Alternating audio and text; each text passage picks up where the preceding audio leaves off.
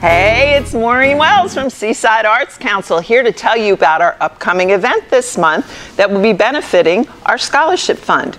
We are having a beach ball here at Carolina Home and Garden. Hey, Macho, look at you all fancy. That's right, because I'm ready for the beach ball. But you don't have to be as fancy as Macho. You It's- don't? No, it's going to be beachy casual. I love beachy casual. So come on down January 27th, 6 to 9, here at Carolina Home and Garden. Your ticket gets you dinner from Il Chino.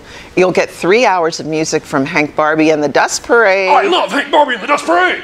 And every ticket gets you in the raffle, which you could win an oceanfront home by Emerald Isle Realty. That's awesome. So January 27th, beach ball. Get your tickets. Be there. See you then. It's going to be awesome.